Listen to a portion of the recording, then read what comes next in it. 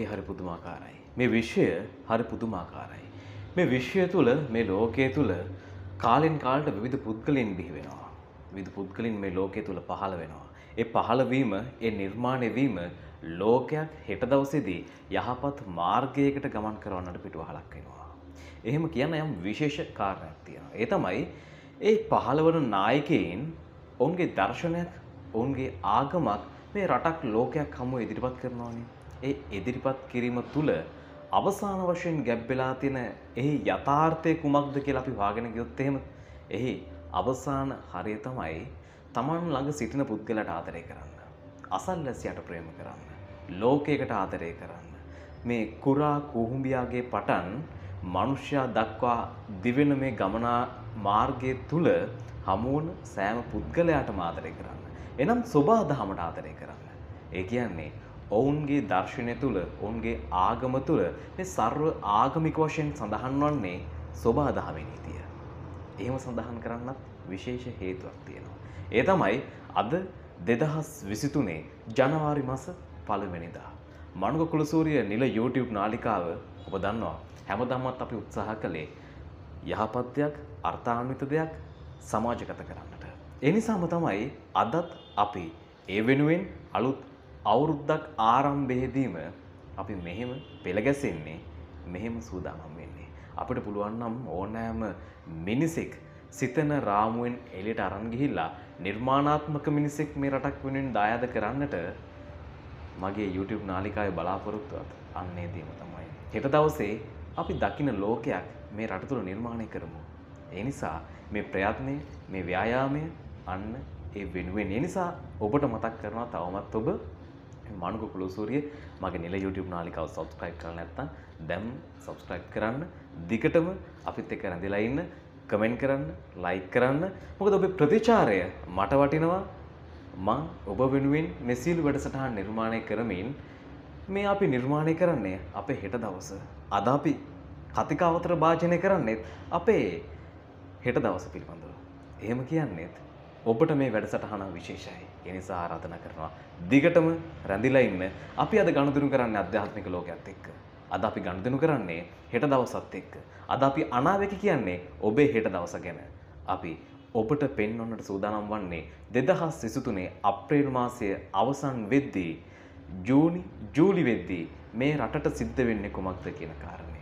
ඉතින් ඒ වෙනුවෙනුයි මේ පළමු ආරම්භය මේ වෙනුවෙන් මේ විදිහට අපි ලබාගන්නේ. අද දෙදහස් විසිතුන වර්ෂයේ ඔබ වෙනුවෙන් ගෙනෙන මේ වැඩසටහන් මාලාවේ ප්‍රථම වැඩසටහන් වෙනුවෙන් මමත් එක්ක දෙකතු වෙලා ඉන්නවා චන්ද්‍රලාල් මහත්මයා.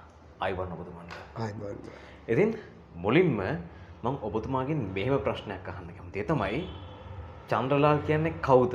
ඒ ප්‍රශ්නයට පෙර ආතුව මං ඔබතුමන්ගෙන් අහනවා 2023 වර්ෂය රටට ලෝකයට මිනිසුන්ට මොන වගේ වෙයිද? මම ප්‍රථමයෙන්ම මන්කු මහත්මා ඇතුළු ඒ චැනලයට එවගේම ලංකාවාස් ජනී ජනීනය ඔබට සියල් දෙනාටම සුබ අලුත් අවුරුද්දක් කියලා ප්‍රාර්ථනා කරනවා. ඉතින් වසර ගානක් පුරාවටම රතන සූත්‍රයේ සහ මේ බුදු බලයේ මේ පිරිත් බලය ඇතුලේ ජීවිත ගමන යමින් ආධ්‍යාත්මික යුග පරිවර්තනයක් ඇරඹුම සඳහා විශාල කැපවීමක් කළා වසර 38ක් පුරාවටම මේ කැපවීම කළ මේ තප්පරේ දක්වා මේ කැපවීම කරන්නේ මේ ගෞතම බුදු රාජ්‍ය ආරක්ෂා කරගැනීම උදෙසායි. ඉතින් ආධ්‍යාත්මිකව දකින ලෝකේ අපි වෙනයි මේ හැම කාරණයක්ම වෙන්නේ කුමක් නිසාද යන ඊටාම මනා වැටහීමකින් තම ඉන්න නිසා තමයි මේ ආධ්‍යාත්මිකව පැය 24 පුරාම මේ රට ජාතිය අපේ මේ ශ්‍රී ලාංකිකයා බේරගැනීමේ දැවැන්ත අභියෝගය අරගෙන තමයි මේ කටයුතු කරගෙන යන්නේ. ඉතින් මනුක් මහත්මනි ඔබ තුමා ප්‍රථමයෙන් ඇහුවේ මේ රටට ඉදිරියට මොකද්ද වෙන්නේ කියන කතන්දරය. ඉදිරි අපි වර්ෂයක් ඉවර වුණා 2022 අපි අමුතුවෙන් කියන්න ඕනේ මේ රටේ කුඩා දරුවගේ ඉඳලා පාසල් යන දරුවගේ ඉඳලා සෑම කෙනෙක්ම කෙනෙක්ම දන්නවා මේ මේ පවතිච්ච මේ පරිවර්තනය මොකද්ද කියලා. අපි ඔක්කොම දුකට පත් වෙලා ඉන්නේ. අසරණ භාවයට පත් වෙලා ඉන්නේ. හැම දෙයකින්ම අපි අසරණ ආර්ථික වශයෙන් කායික වශයෙන් මානසික වශයෙන් හැම පැත්තෙම අපි අසරණයි. එම අවස්ථාවක තමයි මේ අලුත් අවුරුද්දක් 23 2023 අවුරුද්ද උදා වෙන්නේ. ඉතින් ඒ නිසා මේ 2023 අවුරුද්ද අති භයානක වර්ෂයක මුල ආරම්භයක් තමයි එන්න යන්නේ. අති භයානකයි. මිනිස්සු ආර්ථික වශයෙන් මීටත් වඩා බෙලහීන තත්ත්වයටපත් වෙනවා. රටේ පරිපාලනය බිඳ වැටෙනවා. පමණක් නෙමෙයි මේ පවතින තත්ත්වයෙන් මිනිස්සු ඉබාගාති මිනිස්සුන්ට ඊළඟ නායකත්වයක් නැතුව මේ රටට ඊළඟ නායකත්වයක් වුවමනාකම තියෙනවා ඊළඟට කවුද මේ ගැලුම් කරුවා කාටද මේ කරන්න පුළුවන්. ඕක විශාල ප්‍රශ්න රාශියක් මිනිස්සුන්ට තියෙනවා. නිසා වර්තමානයේ මනුක මහත්මානී දැන් වෙලා තියෙන්නේ මිනිස්සුන්ට තාම පිළිසරණක් ඇති මාවතක් පේන්නේ නැහැ. ඒකයි මේ මේ එවැනි බලගතු ආධ්‍යත් මාවතක් එක පාර මිනිස්සුන්ට දෙන්නත් බෑ. ඒකට පරිවර්තන ඇති වෙලා මිනිස්සුන්ට නැතිබරිකම් ඇති වෙලා මිනිස්සුන්ට කර්ම කාරණා තේරුම් යන අවස්ථාවක් වෙනවා. අන්න ඒක බොහොම ඉක්මනින් බොහෝ වේගෙන් ජනවාරි පෙබරවාරි මාර්තු 2023 ඒ වෙනකොට මිනිස්සුන්ට මීටත් වඩා දරිද්‍රතාවය වැඩි වෙලා මේ පවතින පරිවර්තනය මිනිස්සුන්ට දකින්න අහන්න ලැබෙනවා. ඒ කියන්නේ මේ 2023 පිළිබඳ අනාවැකියක් ඉදිරිපත් කරන්නේ. අනිවාර්යයෙන්ම අනාවැකිය. කියන්නේ ආර්ථික වශයෙන් අපි බෙලහීන තත්ත්ව මීටත් වඩා බෙලහීන දුප්පත් තත්ත්වයටපත් වෙනවා. මීට වඩා දුප්පත්තරපත් වෙනවා. ඒ පමණක් නෙවෙයි අපිට ඇත්ත වශයෙන් මේ අප්‍රේල් අපිට අප්‍රේල් මේ ජනවාරි 23 කියන්නේ අපි දුක්ඛිත අවුරුද්දක් පටන් ගන්නෙ අප්‍රේල් මාසේ සාමාන්‍ය සිංහල බෞද්ධය සිංහල අවුරුද්දක් කියලා එකක් කරනවා. යම් මට නමුත් මේ අප්‍රේල් වෙනකොට කැදවුරක් තමයි මිනිස්සුන්ට බොන්න වෙන්නේ. මොකද මිනිස්සුන්ට කිසියම් ආර්ථික අතින් කිසිම අස්වැසිල්ලක් වෙන්නේ නැහැ. හැම පැත්තෙම බිඳ වැටෙනවා මේ අප්‍රේල් මාසේ වෙනකොට. එතකොට මේ දැන් රටේ රාජ්‍ය නායකයන් පිළිබඳ ඔබතුමන් මේ කතිකාවතට පෙර මමත් එක සඳහන් කරනවා අප්‍රේල් මාසෙ වෙද්දී මේ රටේ පාලනය කරන මේ පරිපාලකයින් එහෙම නැත්නම් මේ රාජ්‍ය නායකින් මේ රට අතහැර වෙනත් රටවල් බලා ගමන් කරනවා. ඒ වගේම රටේ අස්ථාවර භාවයක් ඇති වෙනවා. ඒ වගේම රට තුල කිසිදු මොහොතක නැවත ඡන්දයක් නොපැමිණෙන වග ඔබතුමන් සඳහන් කරනවා. අපි වගත් අනාවැකියක් ලෙස ස්ථිරවම රටට හෙළි කරමු. ඒ කියන්නේ මේ රටට හෙළි කරන ප්‍රථම අවස්ථාව හෙළිකරමු. මම නැවතත් මතක් කරන මනක මහත්මයාණෙනි මම මීට ඉස්සෙල්ලත් කියලා තිබුණා. ආධ්‍යාත්මික අපි දකින දෙයක් තමයි මේ රටේ විධායක ජනාධිපතිවරයෙක් අපි හිටියා. ඒ අවසාන ජනාධිපතිය තමයි ගෝඨාභය රාජපක්ෂ ජනාධිපතිතුමා. ඒ නිල වශයෙන් ලංකාවේ මිනිස්සු ජනාධිපතිවරයෙක් පත් කරගත්ත අවස්ථාවක් වැඩි බහුතරයක් ඡන්ද දීලා පත් කරගත්ත ජනාධිපති. හැබැයි මින් ඉදිරියට එහෙම ඡන්දයක් තියන්න එහෙම බෞද්ධරයක් දෙන්න එහෙම මේ පවතින පක්ෂ කීපය අතර කවුරුත් නායකයෙක් බිහි වෙන්නේ නැහැ. මොකද එහෙම වෙන්නේ නැහැ කියන්නේ වසර 73ක් පුරාවටම මේ පාර්ලිමේන්තු සම්ප්‍රදාය ඇතුලේ මේ ප්‍රජාතන්ත්‍රවාදී අපිට උරුම නැති බලහත්කාරකමින් අධිරාජ්‍යවාදීන් විසින් පවරපු ප්‍රජාතන්ත්‍රවාදී රාමුව අපිට උරුම දෙයක් නෙවෙයි. අපි මේ රට ශස්ත්‍රීක වුණා නම් පෙරදිග ධාන්‍යකාරයක් වුණා නම් එකමුතුකම ඇති වුණා නම් අපේ ඉතිහාසයේ ප්‍රෞಢ ඉතිහාසය මොනාවට කියාපානවා අපි කොච්චර ලැබදියාවෙන් දියුණු රාජ්‍යද ලෝකේ පුදුම පුදුමයට පත් කරපු ජාතියක් හිටපු රටක්. හැබැයි අපි දැන් කොඳු කැඩිලා අපිට අපේ කියන අනන්තතාවයක් කිසිම දෙයක් නැහැ. මේ වසර 73 අපි ආපස්සට හැරිලා බලමු. අපිට මොනවද ඉතුරු කරේ? අපි හැම වෙලාවෙම වෙන් කරපු එක තමයි කියන්නේ. අපි හැම වෙලාවෙම තරඟයකට යොමු කරා ඒ තුලින් අපි වෙන් වුණා අපේ ජාතිය විශාල කූට ලෙස උපක්‍රමශීලී ලෙස අපි එකිනෙකා පරයමින් එකිනෙකාට ඇඟිලි දික් කරමින් ගහගන්න මරාගන්න ඒ තත්ත්වයට අපි අපේ ශ්‍රී ලාංකයන් බවට පත් වුණා. ඉතින් ඒ නිසා දැන් වර්තමානයේ මේ පවතින අලුත් නිර්මාණයක් තාමත් ඇවිල්ලා නැහැනේ. ඒතර මේ පවතින ප්‍රජාතන්ත්‍රවාදී රාමයේ මේ පක්ෂ කීපය ගැන මිනිස්සුන්ට තියෙන අප්පිරියාවක්. මිනිස්සු ඒක පසුගිය කාල පරාසවල 225 වරෙල්ලකෝ කියන ආවොත් එලවනවා කියන තැනට ඇවිල්ලා තින කොතනවත් පාරකවත් බහැලා ඒ නායකයෙකුට ගිහිලා කතා කරන්න බැරි තත්ත්වයට පත් වෙන ලොකු ගාඩ් එකක් දාගෙන. හිතා ගන්න බැරි ලොකු ගාඩ් එකක් දාගෙන තමයි පාරේ බහැලා යන්න පුළුවන්.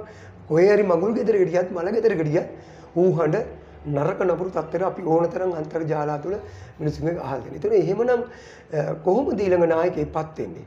ඉතින් ඇතිවෙන කොමසාරි කාර්යාලයෙන් පවා කියලා තියෙනවා ඡන්දයක් තිය යුතුයි ඡන්දයකට කාලය ඇවිල්ලා තියෙනවා. ඒකට දැන් කාලේ හරි නමුත් ප්‍රශ්නේ තියෙන්නේ රටේ මිනිස්සුන්ට ඡන්දයක් අවශ්‍යතාවයක් තියෙනවද? කවුද නායකයෙක් කවුද ඊළඟට බලාපොරොත්තුව? එහෙම දෙයක් මේ රටේ නැහැ ඒ නිසා අ, ඉදිරියට ඡන්දයක් එන්නේ නැහැ. කවදාවත් ආයේ මේ අවසාන ජනාධිපතිවරයා ආයේ මේ රටේ ඡන්දයක් එන්නේ නැහැ. ඔබ කොහොමද පවසන්නේ මේ ගෝටාබේ රාජපක්ෂ කියන්නේ මේ රටේ අවසාන පාලකයාය. මේ රටේ කිසිදු දිනක නැවතත් ඡන්දයක් පැමිණෙන්නේ නැත කියන වග කොහොමද පවසන්නේ? මොකද රනිල් වික්‍රමසිංහ කියන්නේ අ, ජනතා ඡන්දයකින් පත් වූ රාජනායකයෙක් නොව ඒ නිසා ඔහු අපිට එක් පැත්තකින් තිබිය හැක. ඒ නිසා ඔබතුමන් පවසනවා ගෝටාබේ රාජපක්ෂණු මේ රටේ අවසන් ජනාධිපතිවරයා වග. මේ රටේ කිසි දිනක නැවත ඡන්දයක් පැමිණෙන්නේ නැත. අප්‍රේල් මාසයේ වෙද්දී සියලු රාජනායකයින් විදෙස් රටවල් බලා ගමන් කරන්නේය. කොහොමද? 100ට 100ක් ස්ථිර කරලා මේ අනාවැකි රටක් ලෝකයක් හමුවේ නොබියව පවසන්නේ නොබියෝ පවසන්නේ මනුක් මහත්මානනි අපිට ඉතාම හොඳට පැහැදිලි මේ පවතින තත්ත්වය මේ මේ අහිංසක මිනිසුන්ගේ අ, දවසක් ගානේ අ, බරට කරයනවා. අහිංසක මිනිස්සු තමයි මේ රටේ මේ දෙසි විසිපාට කණ්ඩ දෙන්නේ ඔක්කොම කරන්නේ. මේ පවතින නායකයෝ ඒ ඇත්තන්ට පහසුකම් සපයන්න ඔක්කොම මේ අහිංසක මිනිස්සු දරාගන්න බැරිව හිතාගන්න බැරිව විදිහට ඒවා කිසියම් අහිංසක මිනිස්සු වෙනුවෙන් මේ ශ්‍රී ලාංකිකයන් වෙනුවෙන් කිසිම වැඩපිළිවෙලක් මෙච්චර දරිද්‍රතාවයෙන් අමාරුතාවක ඉද්දි කිසිම වැඩපිළිවෙලක් නිර්මාණය කළ නැහැ මේ පවතින නායකයෙක්. ඒතර ඒ නිසා ඔලිග නිර්මාණය කළා පාර්ලිමේන්තුව ඇතුලේ ක්‍රමවිධි සකස් කරගන්න පුළුවන් ක්‍රමයක් නැති නිසා.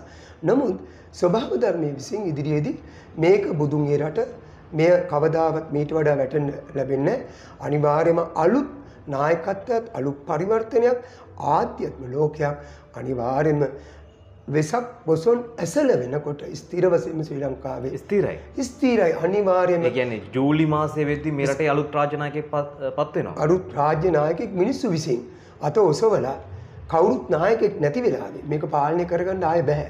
මේ කන්දක ණය මේ විශාල ප්‍රශ්න සැලසුමක් නැතිකම මේවා වෙනස් කරන්න ප්‍රාතිහාර පාන කෙනෙක් මේ වෙලාවේ බිහි වෙන්නේ නැහැ. මං ඇහුවත් කවුද රාජනායකයා ඒක ඉදිරියේදී ස්වභාව ධර්ම විසින් ඉදිරියට ගෙනේ. ඒක තව ඒක ළඟ වැඩි කතා කරන්න ඉදිරියේදී අනිවාර්යයෙන්ම ඒ කියන්නේ ඒ බව කිව හැකි හැකි පුද්ගලයෙක්ද කොහොම- ඒ බව ඔබතුමන් දන්නවාද මේ වෙද්දිත් මම පැහැදිලිව දන්නවා මේ පුද්ගලයා කවුද කියලා. මේ අනිවාර්යයෙන්ම ඔහු ඉස්සරහට එනවා.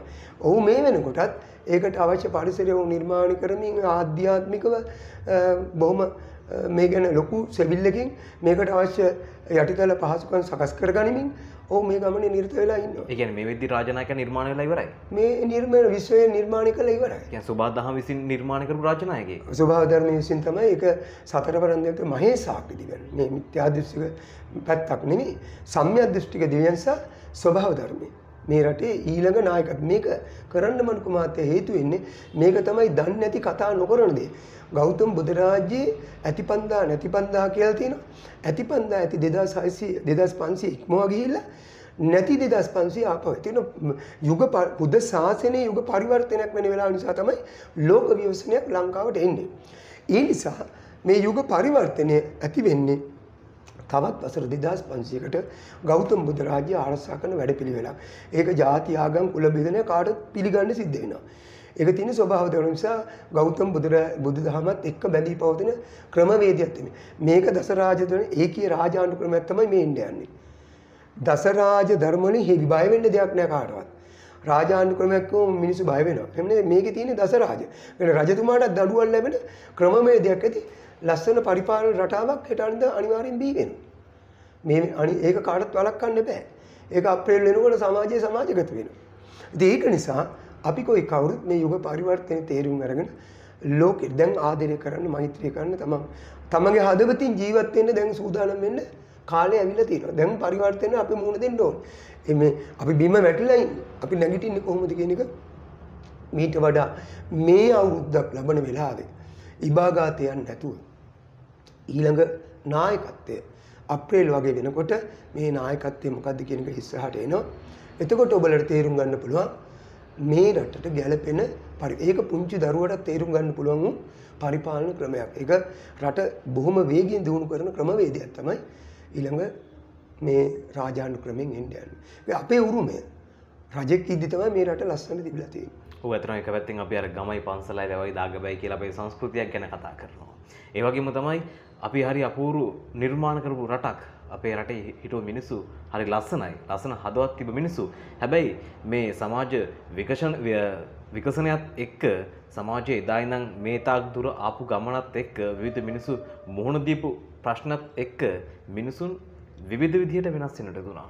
එකන ඔබ ඔබතුමන් සඳහන් කරන අන්දමට එදා අතීතයේ නිර්මාණච්ච ලස්සන රටම අපිට අනාගතයේදී දකින්නට පුළුවන්කමක් ලැබේ විද අනිවාර්යයෙන්ම ලැබෙනවාමයි මොකද දෙදස් මේ විසිතුනේ අවසාන කාර්තු වෙනකොට නරක ඇත්තන්ට මන් දැඩි ලෙස කියනවා. ඒක මට කියන්න මෝනි මනක මහත්මානීනි මේ අලුත් අවුරුද්දක් කුඩු විකුණන එවගේ මිනිස්සුන්ගෙන් ගසා කරන මිනිස්සුන්ට පීඩනය දෙන ಜಾති කුලගෝත්‍ර ආගම් අදින ඒ තුලින් යැපෙන්න හදන කවුරු හෝ විකෘති තත්ත්වයකින් මේ රට වෙනස් කරන්න හදනවා නම් ඔවුන්ට දවස් මේ වැඩි ඇතක් නෑ ඉතිහාසයේ කවදාවත් අමතක නොවන දඩුවම් විශ්වභාව ධර්මයෙන් දෙනවා. ඒක දෙනවා. දැන් ඊයේ පෙරේදා නුවර පැත්ත කඩාගෙන ගියා. දළදා වහන්සේ ඉන්න තැන කොහොමද එහෙම වෙන්නේ? ඉතින් අපිට මේ ලංකාවේ ශක්තිය තියෙන දළදා වහන්සේගෙන්. ඒතර මේ යුග පරිවර්තනය පෙන්නනවා ඒකෙන්.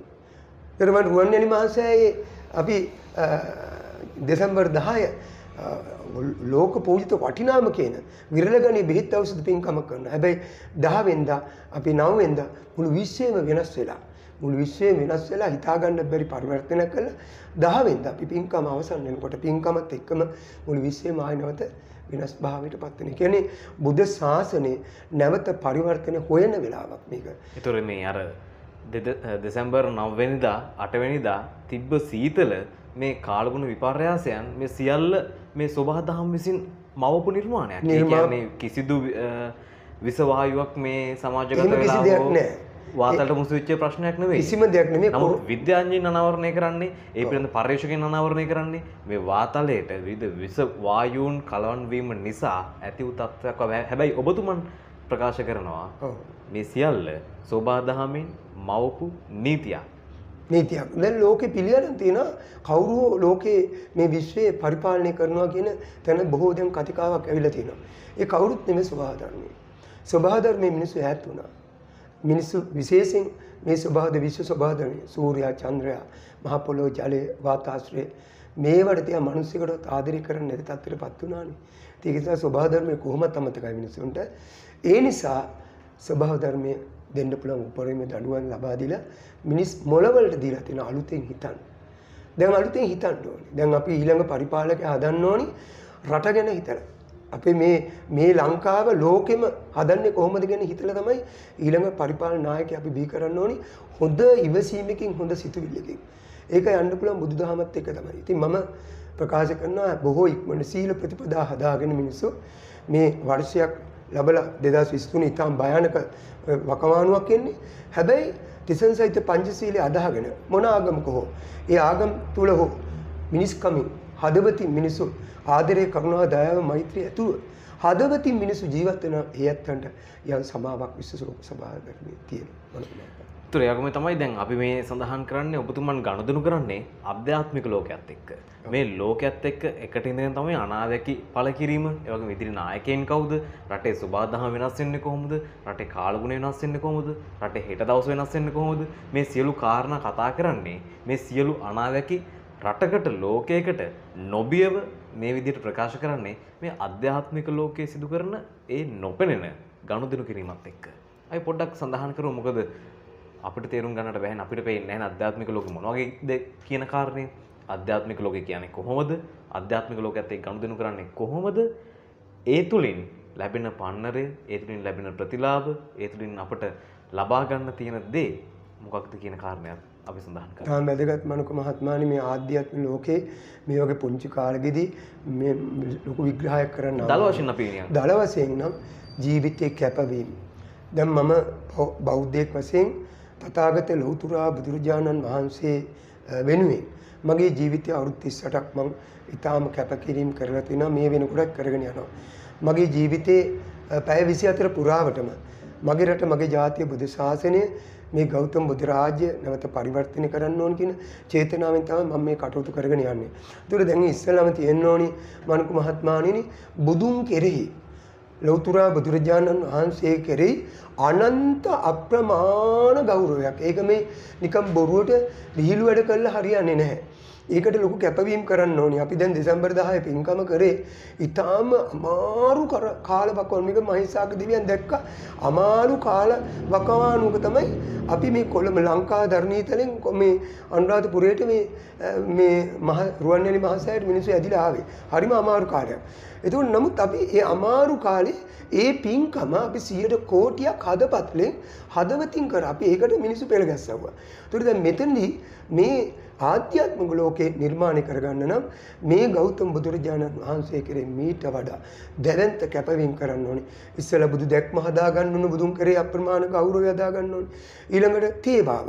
ඊළඟට බුද්ධ ශක්තිය, බුදු බලය, ආධ්‍යාත්මික බලය, බුදු බලය බුදු දැක්ම අපි හදාගන්න ඕනේ බුදුන් බුදු රූපේ ඉඳලා ඒ බුද්ධ වන්දන ජීවමාන බුද්ධ වන්දනා භාවනාව මම කුමාත්මනි මම පොත් ගහලා දහස් ගාණක් පොත් මේ ලංකා ගත කරා ජීවමාන බුද්ධ මේක එදා මේ කාලාන්තර මිට අවුරුදු 10කට 12කට ඉස්සෙල්ලා මම දැක්ක මේ අපේ බුද්ධ ශාසනයේ වෙන දේ.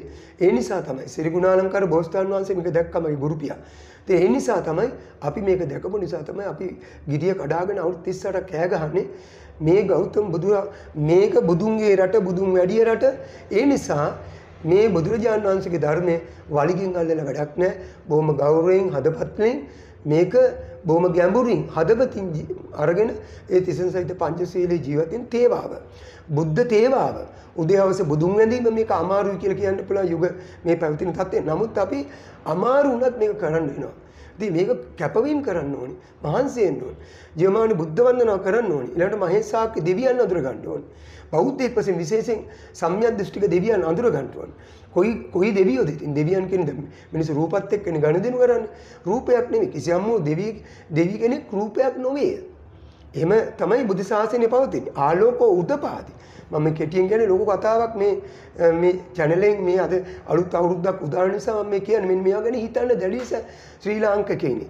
එතකොට අපි බෞද්ධ වශයෙන් අපිට පුළුවන් මේ මහේසාක් දෙවියන්ට පින් දෙන්න ශාසනං දේශනං තුමන් පරම්. ශාසනය අර්ථයන් දෙවිවරු.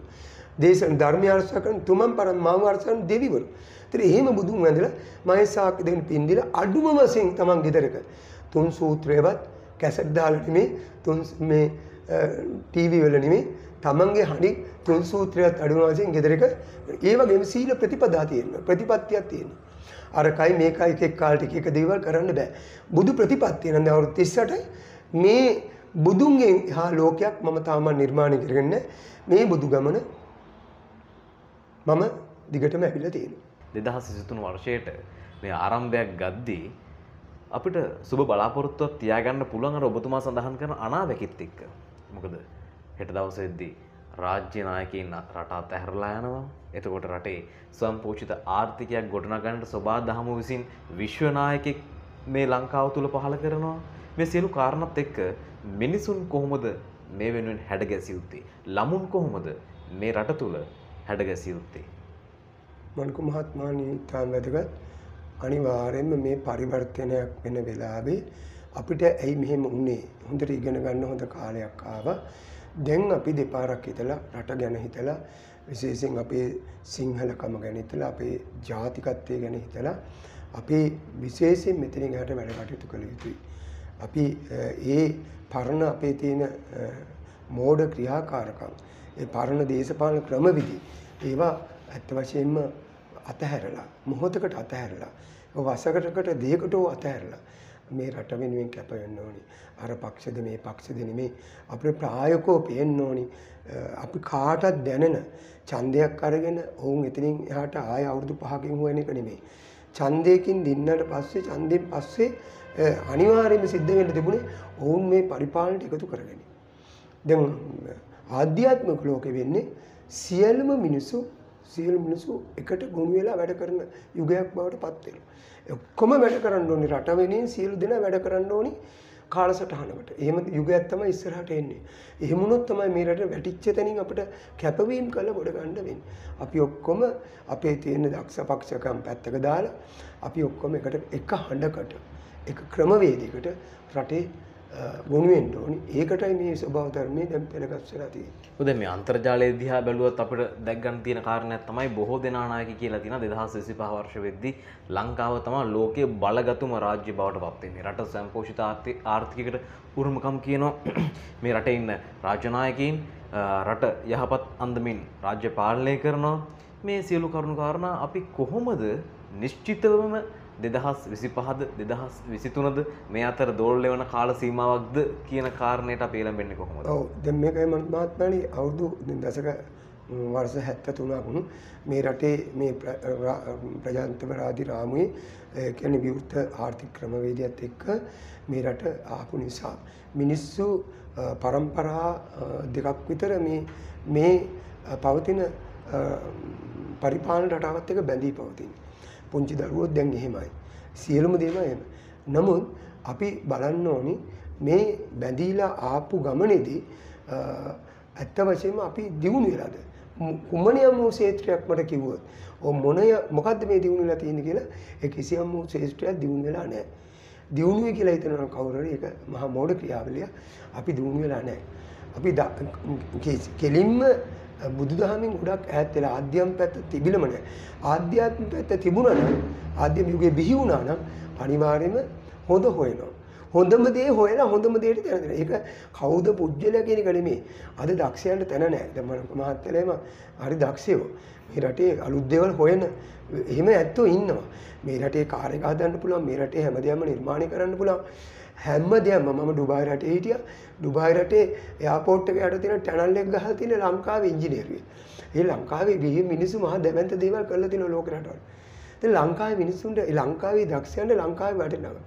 ලංකාවේ අධ්‍යාපනය ඉගෙනගෙන ඔවුන් ඉංග්‍රීසි ඉංග්‍රීසි පාසලකට ගිහිල්ලා අද කොච්චර ඕස්ට්‍රේලියා ලෝකේ රටවල අපේ බුද්ධි ගණනය අපේ බුද්ධිය ලෝකෙට කොහේ ගිහිල්ලා තියෙනවද මේ ඔක්කොම අපි එකතු කරන්න ඕන අපේ රට ඇතුළේ අපි නිර්මාණය කරන්න ඕන.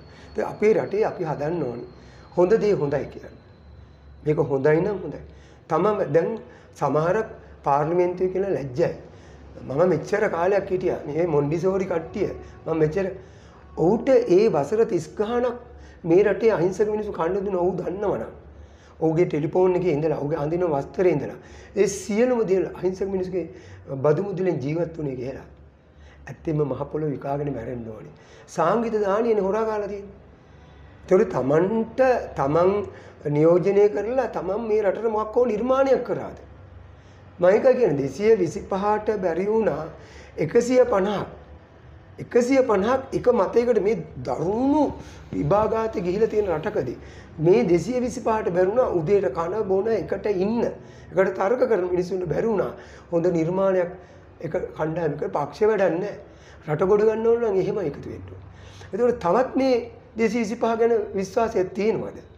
අපිට මොකද්ද උන් දීලා තියෙන්නේ? අපි හැමදාම පක්ෂ පාට වශයෙන් බෙදුණා. බෙදලා අපි ඉතින් විනාශ වෙච්ච එක තමයි තියෙන්නේ. ආගම් වශයෙන් වෙනස් වුණා, ජාතින් හැමතැනම තියෙන විනාශ.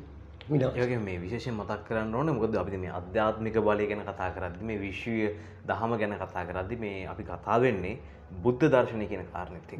හැබැයි මේ රට විවිධාගම් විවිධ ජාතීන් ජීවත් වෙන සිව් දෙනා එකමුතුව ජීවත් වෙන රටක්. අපි මේ බුද්ධාගමකින් තැන් විතරක් අපිට මේ විෂය ඇතුලේ කොට වෙන්න බෑ. මේ පාලන ඇතුලේ බුද්ධාගමකින් තැන් විතරක් කොට වෙන්න විදිහක් නැහැ. මොකද මේ සියලු දෙනාම එක මවකගේ දරුවෝ. ඒ නිසා සිංහල වේවා, දෙමළ, මුස්ලිම්, බර්ගර් මේ සියලුම ජාතීන්, ඒ වගේම සියලුම ආගම් එක්ක මේ ගමන අපි යා යුතු ගමනක්. අපි ඔවුන්ටත් අනිවාර්යෙන් පණිවිඩයක් ලබා දිය යුතුයි. මොකද අපි දැන් බුදුදහම විතරක් මූලික කරගනිමින් මේ ගැන කතා කරනවා. ඉතින් බුදුදහම මූලික කරගනිමින් අර ආගම් සියල්ලත් එක්ක අපි යන ගමනක් තමයි මේ රට තුල අපි නිර්මාණය කළ කරන්නේ. ඒ කියන්නේ අර විශ්වීය නායකයා අනාගතයේ අර ඔබතුමා සඳහන් කරන සෝබාදහමේ නායකයා නිර්මාණය කළ කරන්නේ මේ ගමනාන්තයේද කියන කාරණත් අපි මතක් කරමු.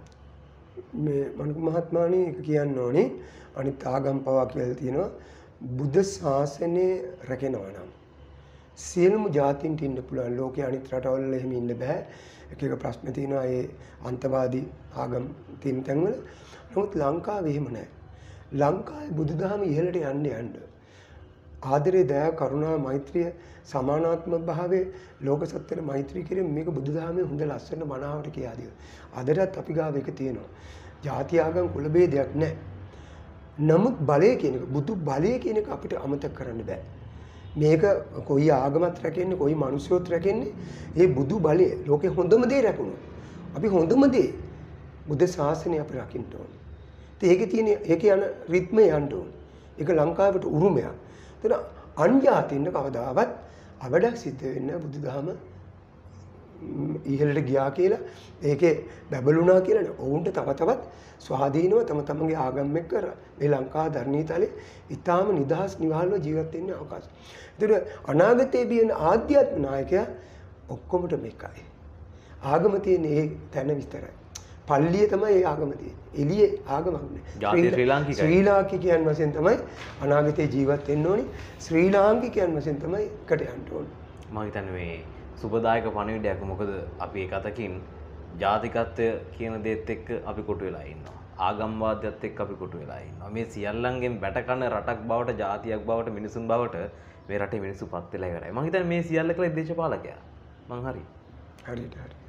ඉතින් තවදුරටත් අපි මේ දේශපාලකයා කියන චරිතයත් එක්ක කොටු වෙනවාද එහෙම නැත්නම් අපේ ඉදිරි ගමන අපි කොහොමද තීරණය කරන්නේ මේ සියල්ල අපිට ප්‍රශ්නයක් වෙලා ඉන්න තැනක තමයි මේ රටේ ආර්ථික සමාජීය දේශපාලන මේ සියල්ල ගැන අනාවැකියක් පළ කරන්නට මේ 2023 වර්ෂයේ ආරම්භයත් එක්ක අපි අපි අලුත් අවුරුද්දේ ආරම්භයත් එක්ක පළවෙනි අපේ වැඩසටහන විදිහට අපි ඔබත් එක්ක මේ සියලු අත්දැකීම් බෙදා හදාගන්නේ.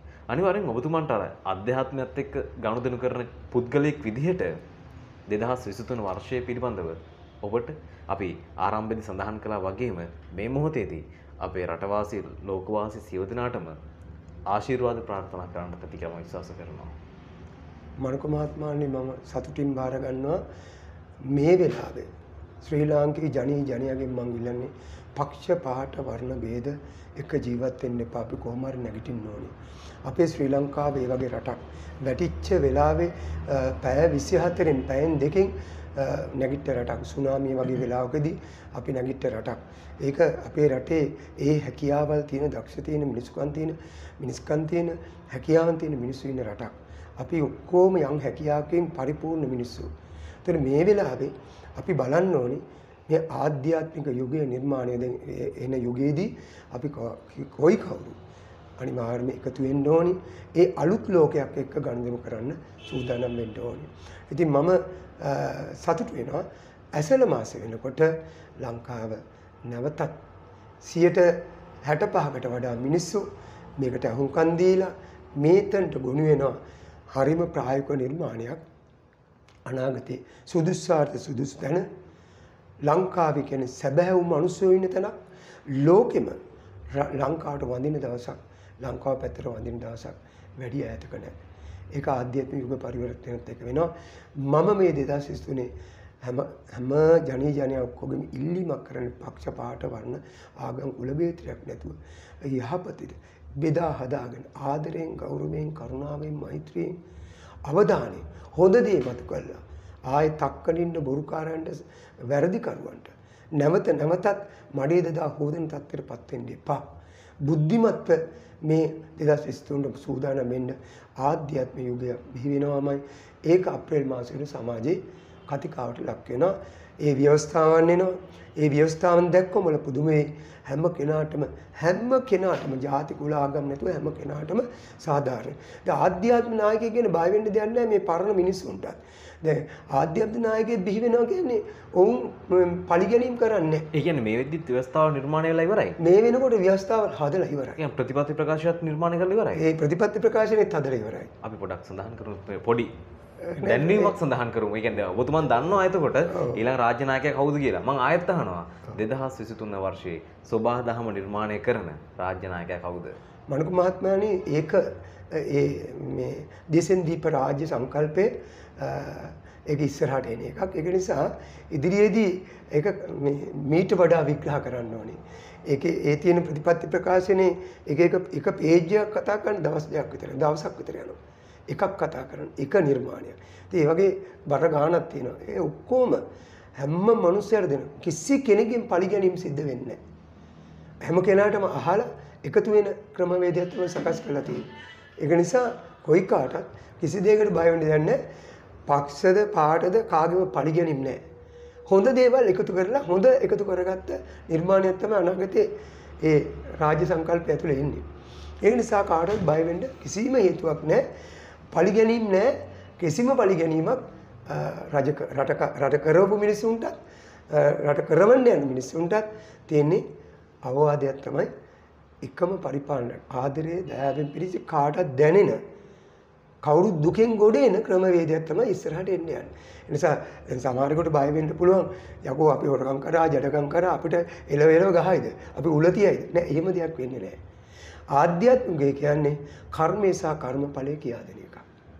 තමන් හොරකමක් කරන්න තමන් එක ප්‍රසිද්ධිය කියලා මම හොරකමක් කරා මම වැරද්දක් කරා මගේ අතින් මට සමාව වෙන්න කිව්වොත් ඒ සමාව දීම දේවගතියක් ඒක කරනවා. එහෙම යුගයක් එන්නේ. කවදාවත් ආත්මී ආත්මී යුගයේ මම ඒක දැඩි ලෙස කියනවා කිසි කෙනෙකුගේ පරිගැනීම් සිද්ධ වෙන්නේ නැහැ. බලිතරු රාවණ ගැමුණු විජේපාර නිර්දුන් ලද ලංකා. ඒ කියන්නේ අපිට 2023 ජූලි මාසෙන් පස්සෙත් එදා තිබ්බ ලංකාව, එදා තිබ්බ සම්පෝෂිත ආර්ථික රටාව මේ රටේ නැවතත් අපිට දකින්න හැකියාවක් ලැබෙවි. මේ මේ මොහොත අපි අර මුලින් සඳහන් කළ විදිහට විවිධ ආර්ථික වශයෙන්, සමාජීය වශයෙන්, මානසික වශයෙන් අපි පීඩාවන් විඳින මොහොතක මෙවැනි අනාවැකියක් ඇසීම පවා එක අතකින් අස්වැසිල්ල. හිතට අස්වැසිල්ලා. මනක මහත්මයානි මට තව එක අවස්ථාවක් දෙන්න. මෙන්න මේ කාරණේ මම මතක් කරනවා. අපි විසින් දැන් අපි ආවනේ ප්‍රජාතන්ත්‍රවාදී රාමේ මේ ලංකාවට උරුම අපි විසින් ශ්‍රී ලාංකිකයන් විසින් නිර්මාණය කරගන්නා වූ ඉදිරියේ තියෙන ආධ්‍යාත්ම යුගය මුළු ලෝකෙම අවධානයට ලක් වෙනවා. මෙතනින් විතරයි අපිට ගැලවෙන්න පුළුවන් අපි විසින් නිර්මාණය කරගත්ත නැති වුණොත් අපිට සිද්ධ වෙනවා අපේ ලෝකේ අපි ණය වලින් පැනලා යන එකක් නෙමෙයි මේ කියන්නේ. අපි විසින් රට නිර්මාණය කළ ලෝකෙ කිසිම කෙනෙකුට ණයක් නැති රටක් හදන්න ඒකේ රාජාණ්ඩු ක්‍රමයේදී පුළුවන්. ඒකට යන්න සිද්ධ වෙනවා නැති වුණොත් මේ එන කවි කවුරුත් ප්‍රජාතන්ත්‍රවාදී රාමුව ඇතුලේ ණය ගෙවන්න ඕනේ. ඒකට ක්‍රමවේදයක් තියෙන්නේ රටට උරුම ලං ශ්‍රී ලාංකිකයන් විසින් නිර්මාණය වෙන ස්වභාව ධර්ම විසින් නිර්මාණය වෙන බුදු ශාසනය මූලික කරගත්ත සියලුම ජාතීන් කුලගෝත්‍ර එකට ජීවත් වෙන අලුත් නිර්මාණයකදී විතරයි. ඒකදී අපිට ඉල්ලීමක් කරන්න පුළුවන් ලෝකේ රටවල් වලට. අපි විසින් අපි වැටිච්ච රටක් අපි විසින් එකට නිර්මාණය කරගත්ත අපිට අපේ අනන්‍යතාවය අපේ රටේ අනන්‍ය. ඒ නිසා අපිට කාලය දෙන්න කියලා අවංකම හිස නමල ඉල්ලන්න පුළුවන් ලෝකේ රටවල් වල. ඔවුන් අපිට සමාව දෙවි. එහෙම වුණොත් විතරයි අපිට මේ ගමන යන්න. එහෙම නැත්නම් මේ යන ප්‍රජාතන්ත්‍රවාදී රාමේ එන මිනිහා අනිවාර්යයෙන්ම නායකරුවෙක් ණය ගෙවන්න ඕනේ. ඉතින් හෙට දවස ගැන දහසක් බලාපොරොත්තු පොඳි බැඳගන්නට අනිවාර්යෙන් මේ අනාවැකි සියල්ල අපිට පිටුවහලක් වේවි. ඔබට මතක් කරනවා මේ අද කතිකාවත ඇතුලේ අපිට ප්‍රබල අනාවැකි රැසක් ඉදිරිපත් වුණා. ගෝඨාභය රාජපක්ෂ අනු රටේ අවසන් විධායක ජනාධිපතිවරයා ඒ වගේම රටේ කිසිදු දිනක නැවතත් ඡන්දයක් පැමිණෙන්නේ නැත. ඒ වගේම අප්‍රේල් මාසයේ වෙද්දී මිනිසුන් බොහෝ දුගී අන්ත අසරණ භාවයට පැමිණෙන්නේය කාලගුණික විපර්යාස වශයෙන් ඒ වගේම ස්වභාවික විපර්යාසයන් වශයෙන් ශ්‍රී ලංකාව විවිධ කරදරයන්ට මුහුණ පාන්නේය ඒ වගේම අප්‍රේල් මාසයේ අවසන් වී ජූනි ජූලි මාසයේ වන විට රටට සතුරුදායක තත්ත්වයකට නැවතත් පත්වන්නේය අවසන ඇසල මාසයේ වෙද්දී මේ රටේ රාජ්‍ය නායකයා සෝබාදහමේ නායකයා පහළවන්නේය. ඉතින් මේ සියලු අනාවැකි ඔන්න ඔබ වෙනුවෙන් 2023 වර්ෂයේ ජනවාරි මාස පළවෙනිදා අද ඔබත් එක්ක හම්බුන ප්‍රථම වැඩසටහන. මේ සියල්ල හෙළි කරන්නේ රටට ප්‍රබල අනාවැකියක් වශයෙන්ුයි රට කළඹන අනාවැකියක් වශයෙන්ුයි අපි ඔබට මේ සියල්ල ඉදිරිපත් කරන්නේ. ආයත් මම ඔබතුමන්ගේ අවසානයෙන් අහනවා. චන්ද්‍රලාල් මහතා යනු කවරෙක්ද? චන්ද්‍රලාල් විශ්වයේ නිර්මාණයක්. විශ්වයේ නිර්මාණයක්. ඉතින් අපි සූදානම් තවත් දවසක මෙවැනිම කතිකාවතක් තුළින් ඔබ හමුවන්නට ප්‍රබල අනාවැකි රැසක් සමගින් සියලු දෙනාටම සුබම සුබ ජයග්‍රහයි අනාගතයක් වේවා.